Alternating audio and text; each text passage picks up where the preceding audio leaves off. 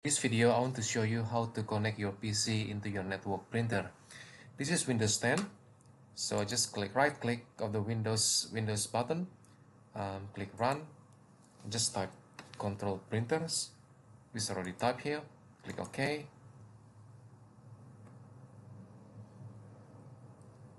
So just click add printer.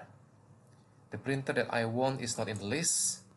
Click TCP IP, click next auto detect type the IP address of your printer. In my case the IP address is 192.168.1.17 and then just click next. We try to connect to printer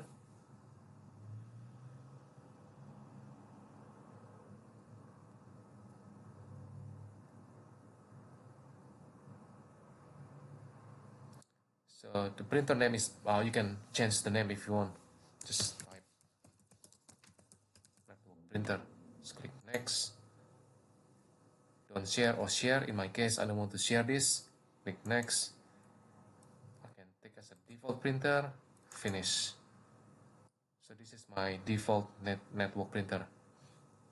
Thank you for watching.